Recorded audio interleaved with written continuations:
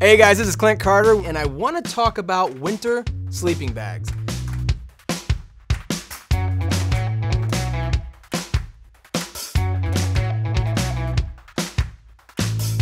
Now, a lot of people think there's no way you can go camping in the winter because it's too cold, but I'm telling you, winter is actually the best time to go camping. There's nobody else on the trails, there are no mosquitoes out, and if you have a good sleeping bag, you're gonna sleep the deepest, most comfortable sleep of your life. So in broad strokes, there are four things you wanna look at when you're shopping for a sleeping bag. You wanna look at the temperature rating, the weight of the bag, the size of the bag, and the insulation that's in that sleeping bag. Let's start with the Slumberjack Wheeler Lake 20 degree bag. Now, it says right in there in the name that it's a 20 degree bag, so you know it's gonna be comfortable to temperatures down that low. It's also a pretty big bag. This is gonna take up a lot of space in your backpack, so I probably would only use this bag for car camping or maybe really short hikes. It weighs a little bit over five pounds. Um, that's more than I really wanna carry for a full day hiking. Look at that.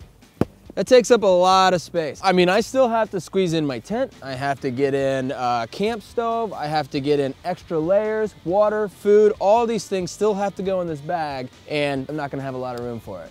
Now the reason this is a bigger bag is because it's using a sort of inexpensive synthetic insulation, which just means you have to have more of it and it doesn't pack down quite as small. So if you do end up in this bag, at least you'll have this nice wide foot box at the bottom, which means you're gonna have a lot of room to roll around. So it's definitely gonna be a comfortable bag, but it's gonna be bigger and uh, it's gonna weigh more. So you have to consider that impact on your bag if you're hiking. But if you're car camping and you wanna save some money, it's $90 and it will keep you warm.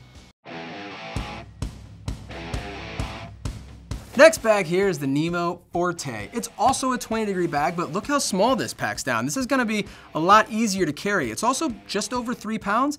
That's more than two pounds lighter than the Slumberjack bag we just looked at. So I would probably hike with this bag. I would feel comfortable with it. This bag also has some really cool features. First is what Nemo calls a spoon-shaped design. So the bag's a little wider in the shoulders and in the knees, so if you're a side sleeper especially, you're gonna find it really comfortable to sleep in. Probably my favorite feature on this bag are these zippers that run along the abdomen. Nemo calls these thermogills, and they essentially drop the bag's temperature by 10 to 20 degrees. So it's a 20 degree bag, but if you want to take this out in the fall on a night that's gonna hit 40 degrees, you'd be really comfortable in this still. And finally, really cool feature here, You've got the hood that goes around, all around your head at night to keep you warm, but inside it you've got a little pocket and uh, you can either put you know, your camp pillow in there or you can stuff in some extra layers that you're carrying and it essentially turns it into a pillow for you. So that's gonna help you have a little bit more of a comfortable sleep when you're in a tent all night. The next bag I want to talk about is the Kammok Thylacine. Now what really sets this bag apart from the first two bags we looked at is that it's made with duck down insulation. That's a natural insulation that's a little bit lighter. This bag is just over two pounds. It's um, packs down a little bit smaller. You can really push this into the bottom of your hiking bag and uh, it's gonna cost you a little bit more money. But for the payoff, you get an awesome hiking bag. This is one I would definitely carry into the backcountry with me. A cool comfort feature on this one is you've got these straps that go across the abdomen. You've got four of them and you can just kind of cinch yourself in. They're stretchy, so they're not really gonna constrict you, but they keep everything tight, which winds up making for a really cozy night's sleep. Another cool thing that Kammok has done here, so they designed this bag to be comfortable at 20 degrees. But they've also designed it to uh, accept an optional liner that adds more down insulation and effectively turns it into a zero degree bag. So you can decide 20 degree night or zero degree night.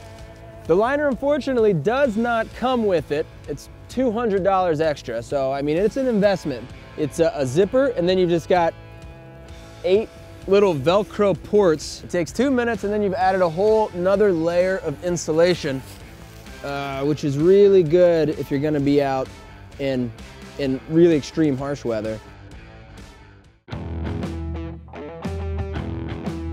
So this last bag is a bomber bag. This is the Thermarest Polar Ranger, and it's rated for negative 20 degrees. So what makes a bag rated for negative 20 degrees? For starters, this one has 800 fill power down. So fill power is what manufacturers use to rate the quality of the insulation that they're putting into puffy jackets or sleeping bags and 800 fill power means that it takes very little insulation to do a whole lot of work. So good insulation is helping this bag a lot. So a lot of features here are designed especially for really extreme cold conditions. You see that none of these zippers go too far down. You've got one zipper right here and it stops right about the knees. You also see the hood goes all the way around your head and basically gives you just small enough of a port to where you can breathe, uh, but you're not gonna have a lot of heat loss. And you've got this snorkel here, which essentially keeps any cross drafts off of your face. And the snorkel is actually made with synthetic insulation. Now the rest of the bag, like I said, is all down, but the snorkel is synthetic. And what that does is it allows this to handle some of the moisture from your breath. The hardest time to stay warm on any camping trip is that time when you're just sitting around the campsite. So with that in mind, Thermarest put these arm ports here so that you can essentially wear this bag like a full body parka get your arms out to arrange your tent or cook your coffee or make dinner at night. You can do all of that stuff while you're in the sleeping bag, staying warm, and that's a really smart feature on this one. Essentially, the back of this bag has uh, these straps built into it, and um, that's a really nice feature when it comes time to set up your camp and you're getting situated on your sleeping pad. Uh, if you want to take the time to sort of strap the sleeping pad to the back of the bag, you can do that and uh, it means that you're not going to have to worry about rolling off of this thing all night. You're going to be attached to it. So strapped in, flip it over, and now your bag's attached to the pad.